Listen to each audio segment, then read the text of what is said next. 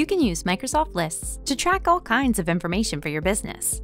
For example, you can track customer orders. The columns in this list store order details such as customer type, fulfillment deadline, and progress. As new orders come in, you can add more items to your list. Select New to add a new list item. Add order details, and select Save when you're done.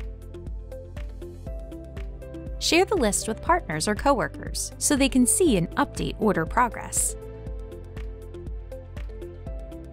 You and your team can also access the list on your mobile devices with the Lists mobile app for iOS.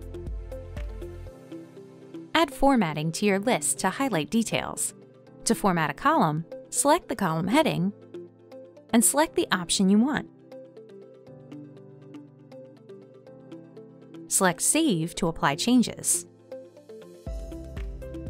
Add rules to alert coworkers when a new order is added.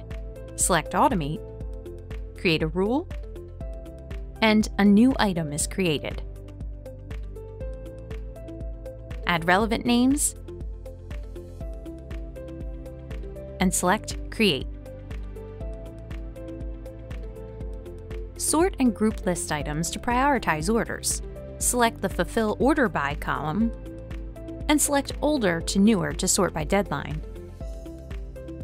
Or, to group orders by customer, select the Customer Type column and select Group by Customer Type. Update each item's status and track progress instantly. Double-click on an item to open it, and update the order progress. For easy collaboration, bring your list directly into your organization's Teams channel. Start tracking with Microsoft Lists.